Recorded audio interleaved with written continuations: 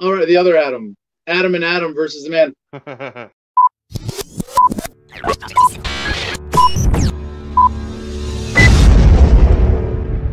Ladies and gentlemen, our guest today is Adam House, longtime friend of mine, Army veteran, but I won't hold that against him. Also, combat veteran, who I got to know through combat veterans for Ron Paul.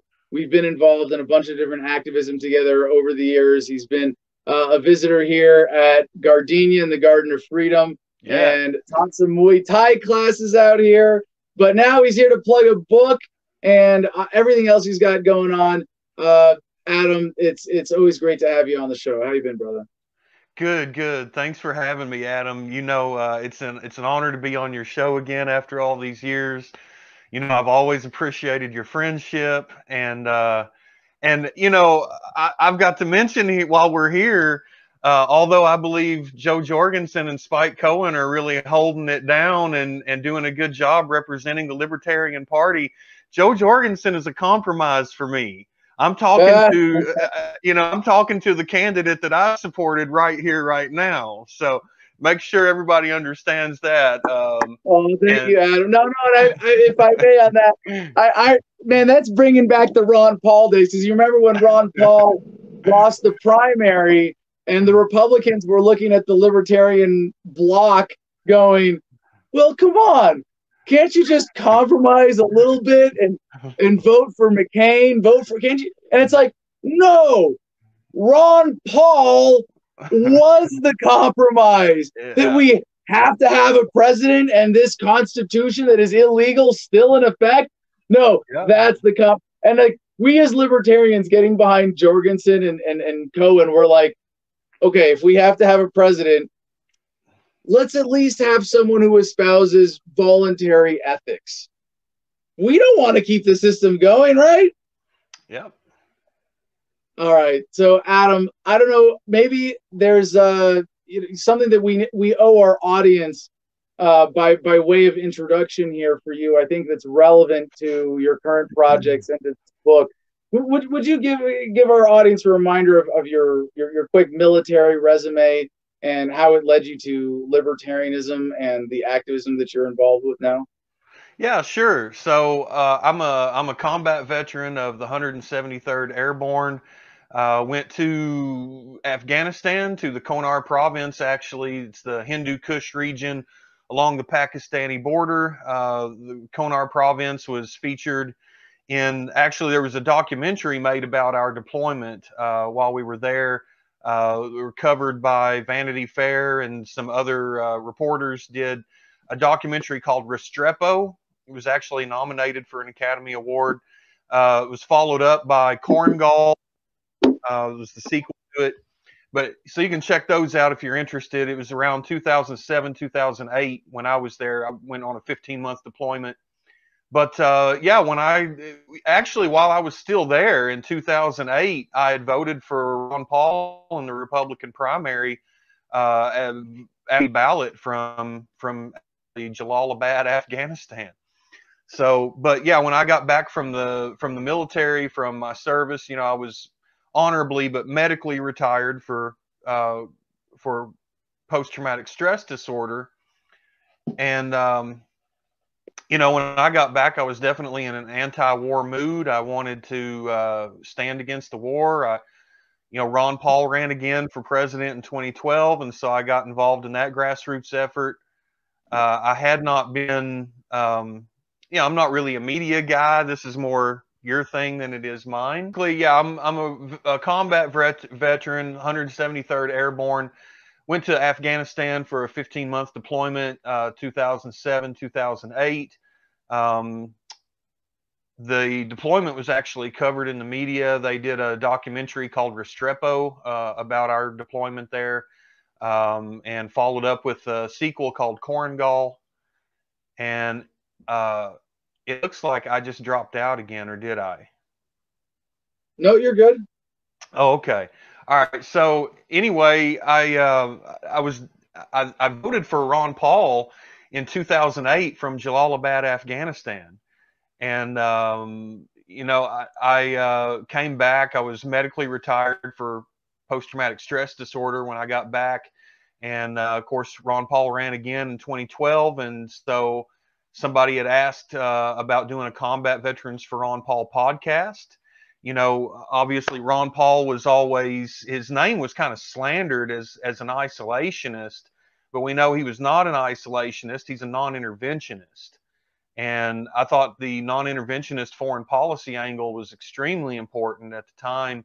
And uh, so, you know, I stepped up and when I was asked and did the CVRP podcast for a little while, but it's it's not really my forte. You know, you're you're the media guy, Adam. This is really your expertise. Uh, but I'm out there, you know, all these years I've not really been doing a lot of media stuff, but here lately I've I've done a little bit again because you know, same as when I did the CVRP thing, I just think uh, I have a sense of urgency right now that there's things that definitely need to be addressed. So, um, it's one of the things that links us, right? I mean, we we met each other at the uh, the Ron Paul March on the White House back in 2012. I mean, that was such an awesome effort that you worked on uh, and other people worked on to to be able to stand up for peace and and to stand against the war the warfare state uh, during Obama's administration and and uh, you know I uh, I, I want to say, you know, I don't want to start getting too far into the weeds just yet, but I want to say, Adam, I, I feel like there's, you know, some things going on right now that, that beckon back to that time. Um, you know, when we're talking mm. about being anti-war, uh, uh, you know, when I say I'm anti-war, I mean I'm anti-war. I, I'm not just anti-war for when there's a drumbeat to send American soldiers overseas guess what? I'm also against civil war. And and uh, and I think all libertarians should be. And just as much as we would expect the anti-war left and the anti-war right and anti-war everybody else to stand up when our government and our media is starting for uh, the drum for a foreign war, I think we should, you know, as anti-war people, we should be standing up right now and promoting peace here in the homeland as well you know, I really got um, really got something in my crawl against uh, Donald Trump and Tom Cotton and these guys uh, back after right after George Floyd was killed. They started uh, advocating for deploying federal combat troops here in in the homeland, here domestically against our own American citizens on our own soil. You know, against protesters you know, it, it, reminds me of the the same way that we beat the war drum about going into other countries. There's some a little scuffle that goes on, and so we end up sending in advisors, right? Uh, mm-hmm. And these mm-hmm. guys go in, and they they basically are just force multipliers that go in and and put together kind of a makeshift militia type of situation, and they stir the shit up some more. And then, you know, next thing you know, the media is talking about, hey, there's all this stuff going on in this foreign country and you know we're going to have to invade now. And so we we see this mission creep until we eventually end up deploying you know the full mass of, of military power into another country.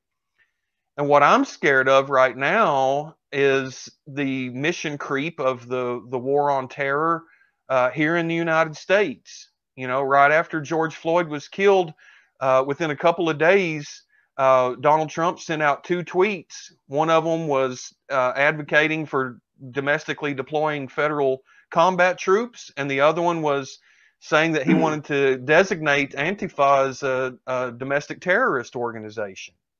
Never mind that he doesn't have the authority to do that to begin with. Uh, and even if he does do it, it doesn't really carry weight.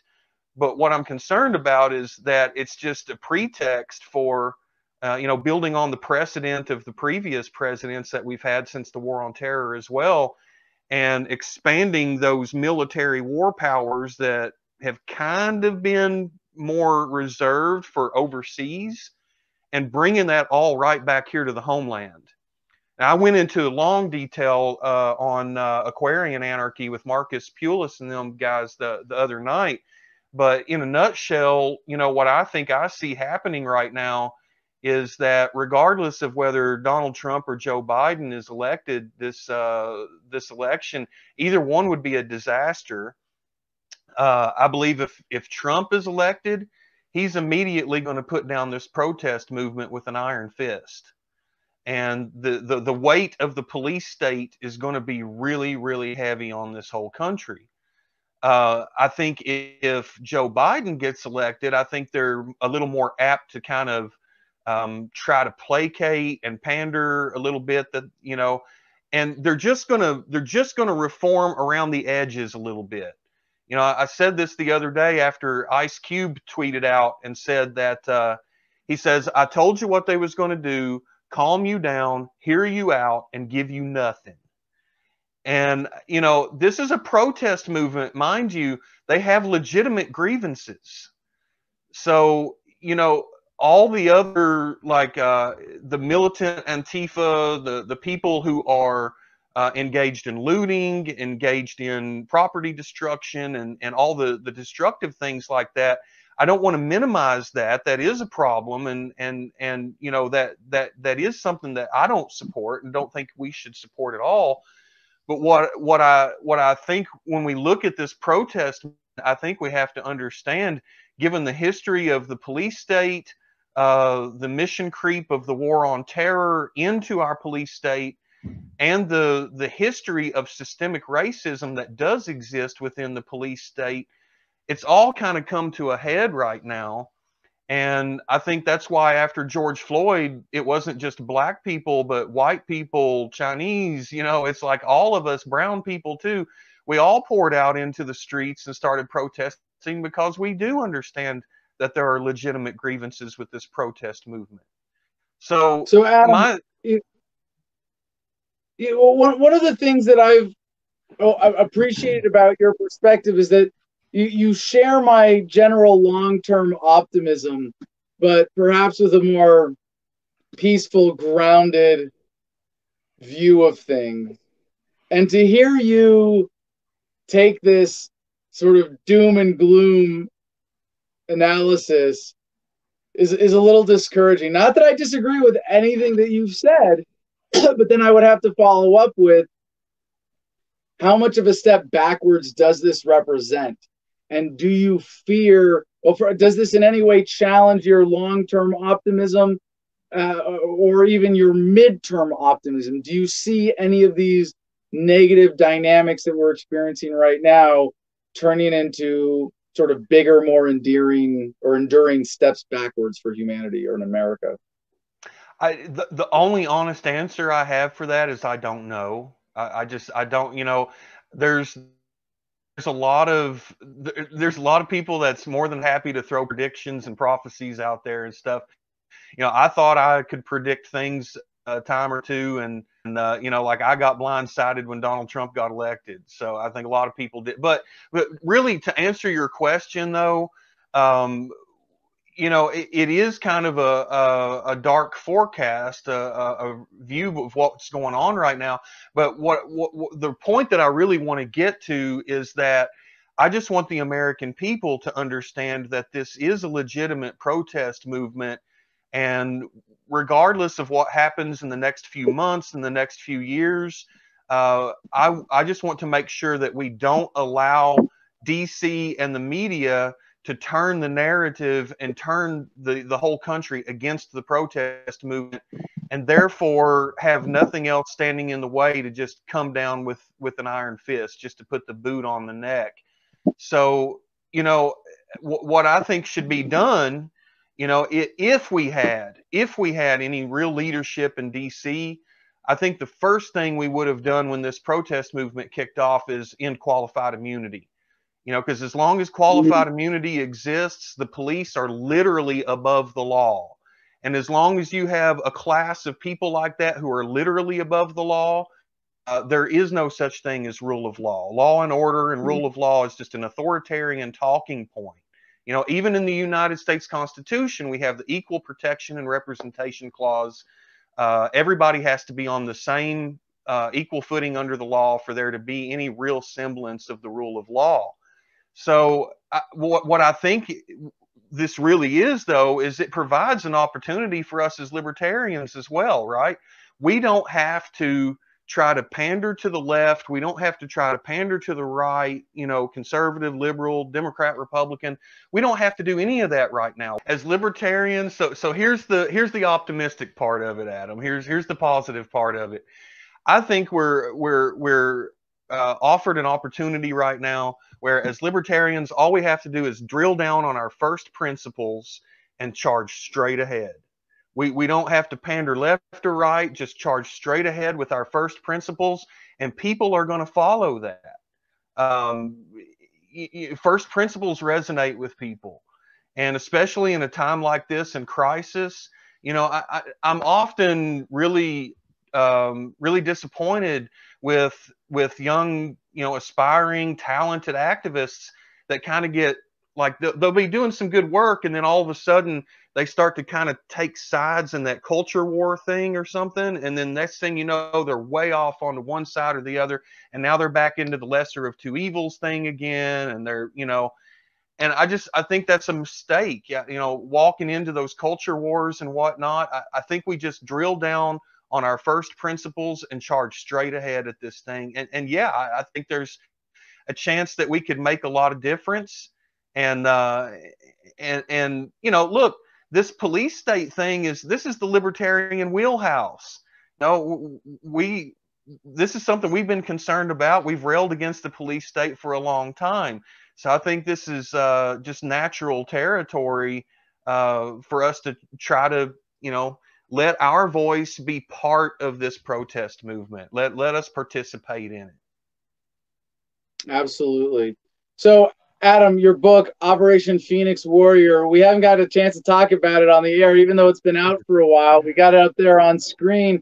And okay. the other thing is, like right here, I, I got to start with this apocalyptic, legalistic cult rearing. What's yeah. that referring to? Yeah, so I was uh, I, I, was raised. I mean, if I if I am anything in this world, I am a product of the religious right. Uh, that's not the politics I identify or the philosophy or what I identify with anymore. Uh, but that was the atmosphere that I was raised in. How you doing, Mr. House? I, am doing okay. I don't know how great my internet's doing. what what what are you? Where are you right now? I'm in Texas these days. Yeah. Oh, so steers and queers aren't really good at organizing internet service companies. Okay. Uh, what, what, what? Just, I mean, I'm kind of curious, like, because this is something that, that I deal with here. What, uh, what's your internet service?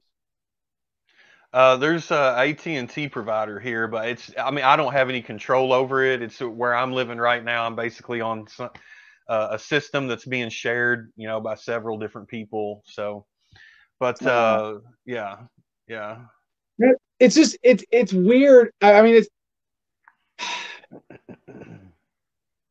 it's like there's a glitch in the matrix. maybe maybe it is. You put a couple of anti-war veterans together. Maybe that's the you know, that's just too much for it. I, I don't well, I don't even mean like just this right now. I shouldn't say a glitch in the matrix. I should say the matrix is getting really glitchy.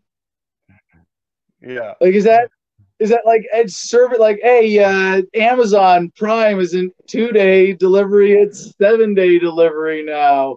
Uh, you can get in trouble with the police for registration, but you can't go to the DMV to get your shit fixed.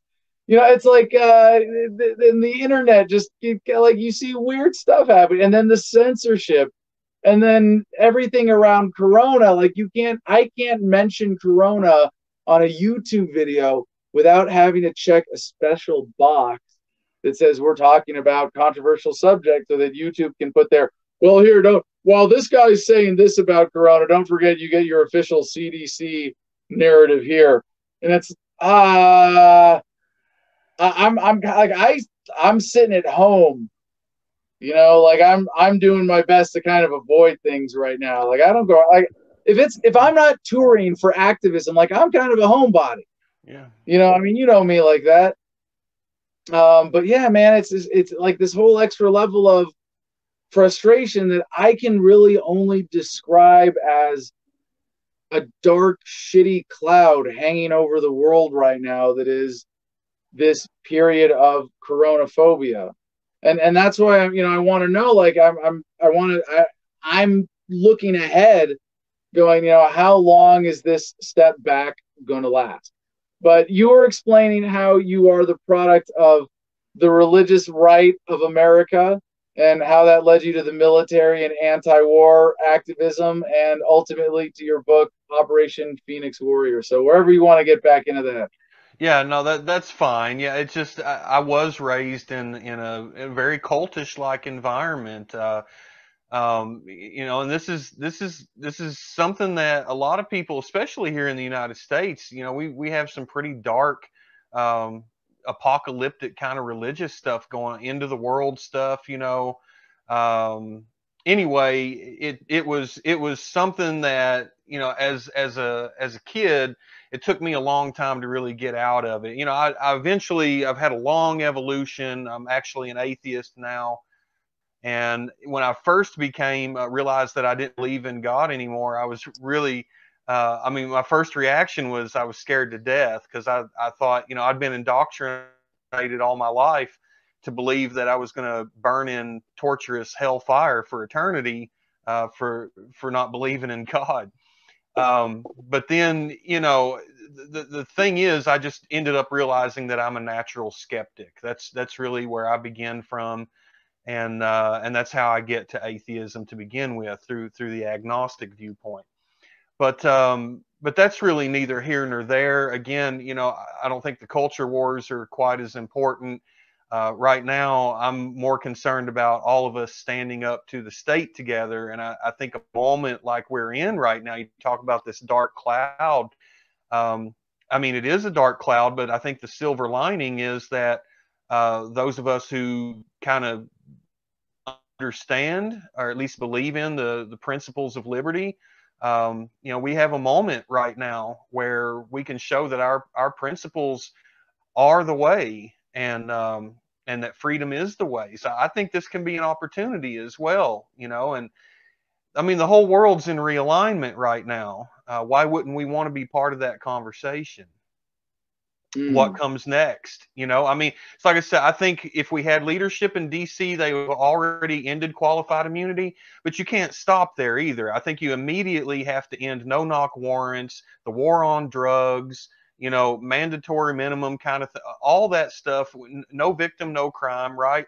But as soon as we do that, to just kind of release the pressure valve for what's going on right now, because right now we're in the middle middle of a powder keg and people are shooting each other and shit.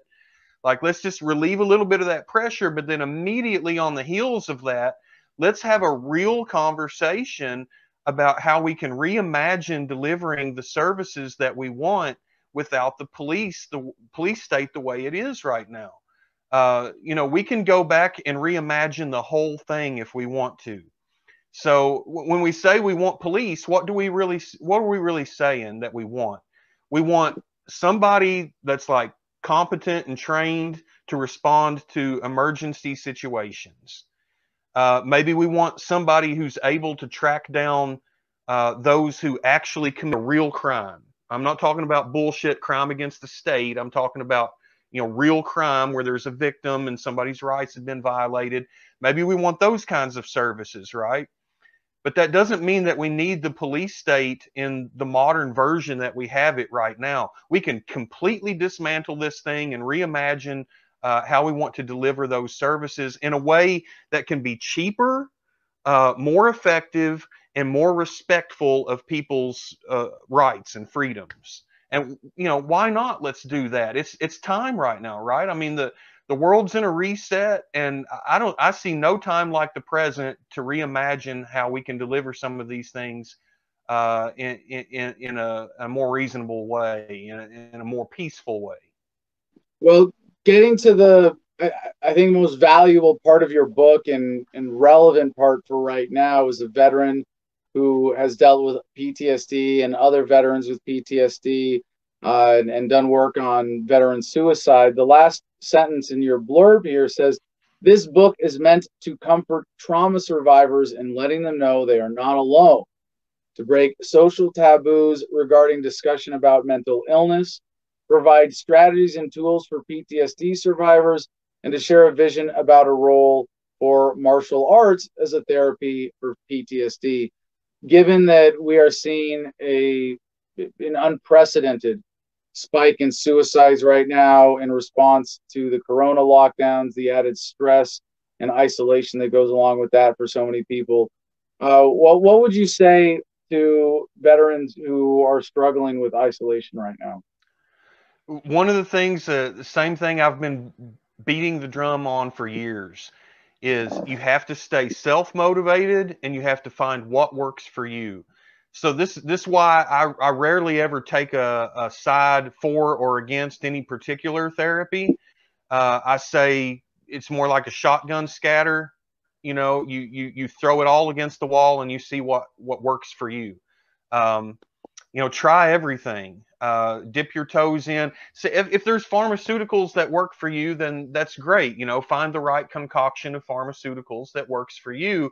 But you know, I I think you know, one of the things that people like us that's been paying attention to this for a while, Adam, we we we realize that just a pharmaceutical cocktail can't be the whole answer, and you know would really rather prefer uh, to get away from the the the uh, pharmaceutical cocktails and and do other things, uh, try try other methods, other strategies. Uh, you know, come up with outlets and coping mechanisms that work for you as an individual. Um, you know, training martial arts is definitely one of the things that's worked for me. Uh, I got into it a whole lot more than I even thought that I would. And uh, I mean, ended up living over in Thailand for a few years and, and training full time and getting my license to teach Muay Thai. So now, anywhere I go in the world, uh, the Thai government considers me a Muay Thai school. So I can just teach anywhere I want and uh, and my students are accredited um, as uh, recognized by the Thai uh, Department of Education. But anyway, yeah, I mean, I, I, got back from Thailand, and it wasn't very long. You know, I had just enough time to start my school, and I got about two and a half months into my school. I built a, small class, and uh, that's when the first lockdown started. So um, I was supporting my school out of my personal income, and I, I couldn't continue to do that. So, as it stands right now, my school is closed indefinitely. Um, I also had to have surgery this summer, a pretty major surgery, so that's set me back personally uh, for the last few months. But you know, ultimately, the idea is that uh, what I really want to do is end up hosting seminars uh, you know, camps, training camps, and and what I, I, one of the things I really envision is being able to take a group of people who suffer from post-traumatic stress and be able to introduce them to uh, to Muay Thai and be able to do it in a camp atmosphere. You know, like where you come away from your daily routine, the the, uh, uh, whatever's got you bogged down in a rut, and and come together with a bunch of other people who are struggling with the same thing and challenge yourself. You know, challenge yourself and work on both your mental and your physical health. Obviously, we know when you're active, uh, that has good consequences for your psychology as well. So, uh, basically, yeah, for me, I definitely want to pursue uh, trying to use methods like martial arts as good outlets uh, but ultimately, what I say is find what works for you. Not the same thing is going to work for everybody. We're, we're all individuals. We have different personalities, different wants and needs, whatever. You got to find what works for you and stay motivated because nobody can do it for you. Excellent. Well said. Your YouTube channel is on Liberty, and uh, we can get that up here on screen as well. Adam, thank you so much for joining us today. Anything else you need people to know about how to connect with you? No, I, I just uh, I appreciate you having me back. I hate that we had some connectivity issues, but it's it's good to see you again, my my home front battle buddy. And and and I just one thing real quick, Adam, I've got to say thank you because I have you know I, I do keep I don't always watch every episode of your show all the way through, you know, but I do do keep you in rotation and uh, and your social media and all that as well. And I can tell that that you have a, a fidelity to first principles. All these years, I mean, we we're all human, right? We all have faults or whatever. But as far as I can tell, you've always been a principled voluntarist. Uh, you run on the presidential platform that I believe in, which is the platform of abolition. And, uh, and, and I just want to say thanks for for being out there and staying true to first principles, man. Keep it up. And uh, Sawadee Kub, Kap Kun Cup.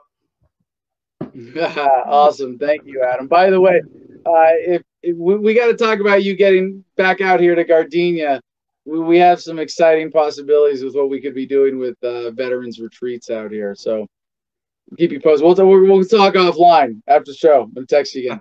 All right. Thanks.